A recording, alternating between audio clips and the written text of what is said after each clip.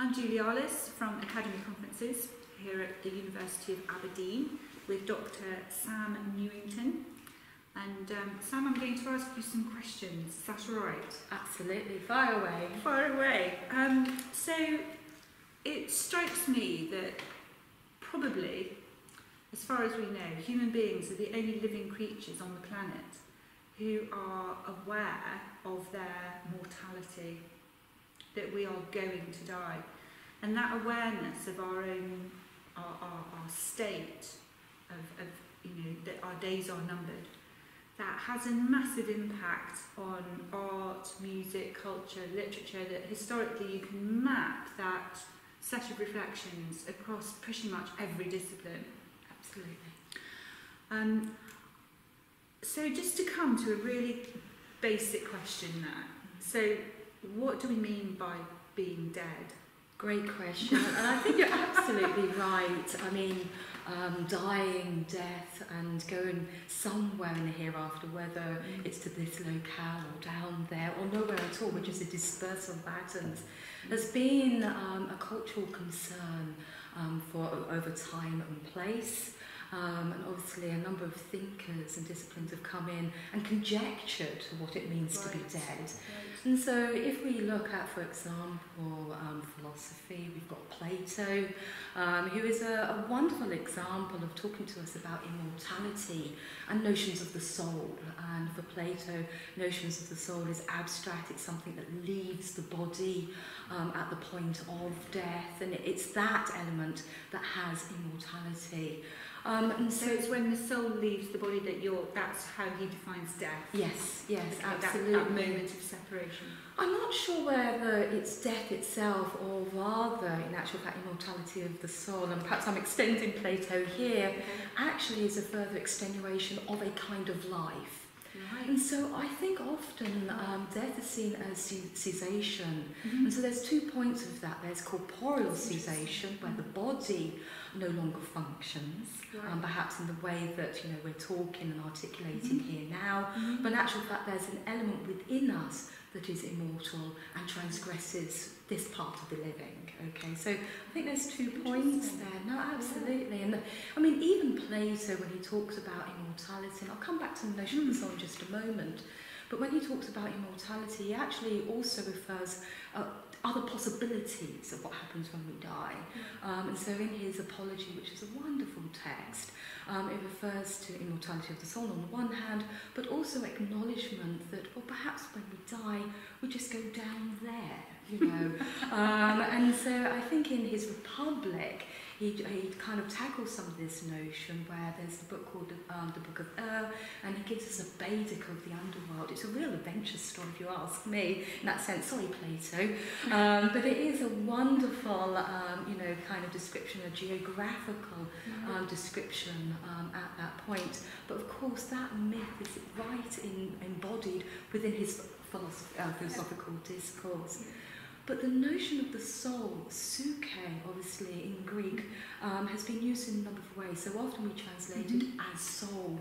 But you can argue, I suppose, and I think it's an article, but don't quote me on this, by Bassett, um, who refers to the soul, say, in an epic text, um, Homer.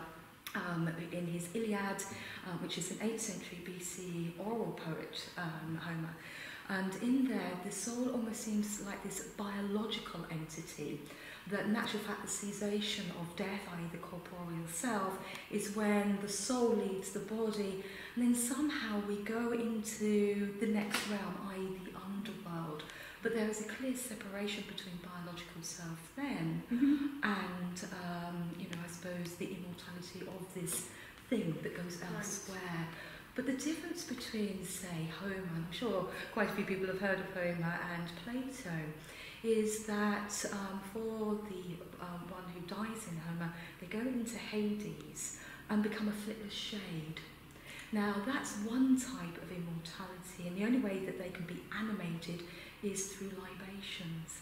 But the sense within Plato is a level of consciousness, right. and that is a difference. And I think this notion of the soul, or indeed concepts of the hereafter, are expressed differently by um, philosophers in one mm-hmm. sense, and and I've obviously just touched upon um, Plato, but then when we look at Homer, which is an epic text, it's dealt with in a different way again.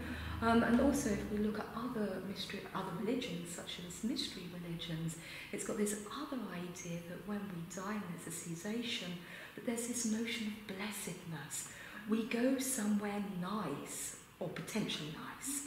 Um, and so again, I, I think, to your point about what does it mean to be mm. dead, I think it varies depending on what mm. um, discipline you're looking at.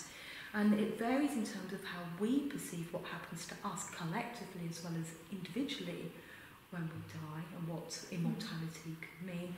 But also there's a societal response. Yeah. And that societal response can be through the expressions of rituals. And this is where a social anthropological perspective mm. can come in. And so, for example, when we die, do we acknowledge um, someone who's um, deceased as dead until we perform the funerary ritual? Because the mm. body isn't just a body, is it? Exactly. It's not just a lump of stuff, it's still dad. Yes, oh, absolutely, hmm. absolutely.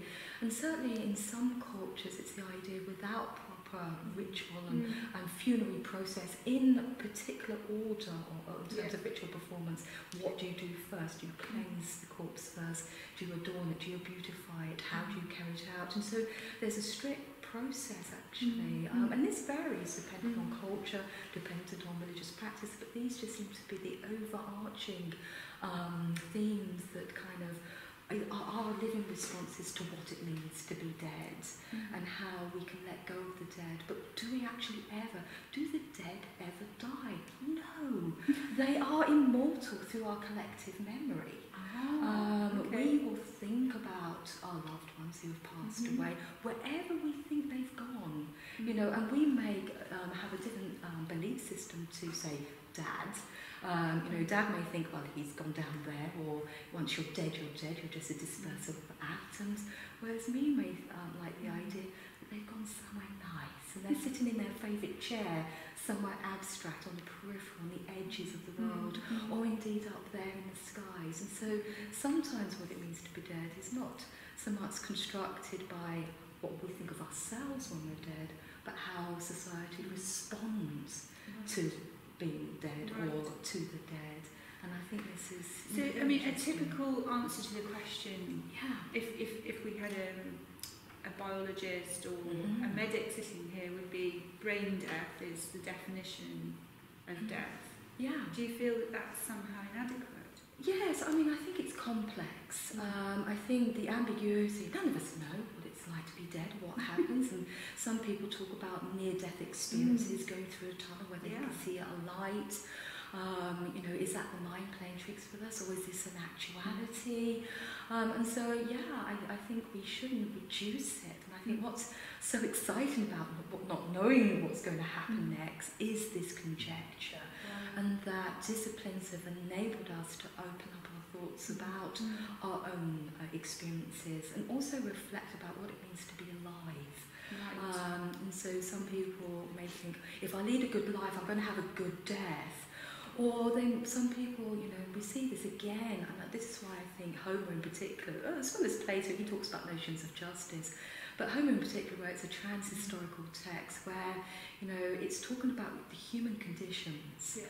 And it doesn't matter what time and place you're at, it's still a response, you know. Um, and so, you know, it talks about, you know, grief, bereavement, hereafter, near-death experiences and such like. Um, and it does so in a complex way. And, Mhm. you know, I think culture, time, place, whole all complex things of things. Think about this. But what has been interesting is this idea of, um, which we haven't touched upon yet, is reincarnation. Oh, yes. So again, you know, we've got this idea of a soul of being immortal and going Mm. somewhere. But do we actually come back and, you know, as an invigorated source? Is there any evidence for that claim? Yes, I mean, Would it need evidence? well, I mean, it's it's something nice to think about. You know, if I could come back, what would I be? You know, I think this is sometimes I, you know, I, I idle about. But of course, we've got other philosophers, pre-Socratic philosophers such as Pythagoras. who um, talks about um, the reincarnation of the soul and famously, Mhm. well, this saying has been attributed to him that don't, um, you know, kind of flag that because that's the soul of my past friends. You know, I think it's um, flag in a bush, and it's this idea that we can actually our matter recollects and we become um, reincarnated. And in that sense, there's an implication of reincarnation through a corporeal presence. Yeah.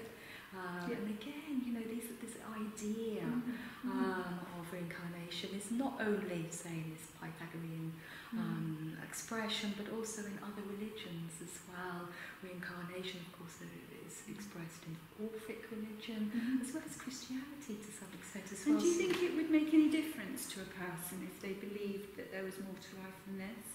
Oh, I think it does, um, or certainly potentially does, um, I should say, in that, you know, there is a comfort knowing that this is just part of a process of a broader model of existence. Mhm. Um, and that this is just a transition, a bit like, I suppose, a caterpillar, Mhm. you know, if I can use that. And so I think that sometimes, you know, thinking in those broader terms as life as a cyclical process, that we're Mhm. part of a cosmological unit here. Um, and so, yeah, I think there's something interesting and Mhm. reassuring potentially in that. However, having said that, some others may think, once you're dead, you're dead, and that's it. Thank goodness for that. yes, exactly, exactly. Because Freud would argue that it is just wish fulfillment, that Yes. it's, it's, you know, being afraid of our own mortality that Yeah. generates these stories. It doesn't make the stories any less interesting, but do you think it matters whether they're true or not? No, I don't think so. I think the fact that um, as thinkers, people have conjectured this possibility, and I think it has provoked us to think about, as you know, as I mentioned earlier, well, what's what does it mean to be dead, but also what does it mean to be living? And we've made assumptions of that framework. We've Mhm. made a firm assumption that if we are breathing, speaking, and consciously Mm-hmm. um, kind of active, then that must be what it means to be living. Um, however, it perhaps death is just simply a transition. Mhm. Um, and so, no, let's open up the box. Let's be embracing about what happens next.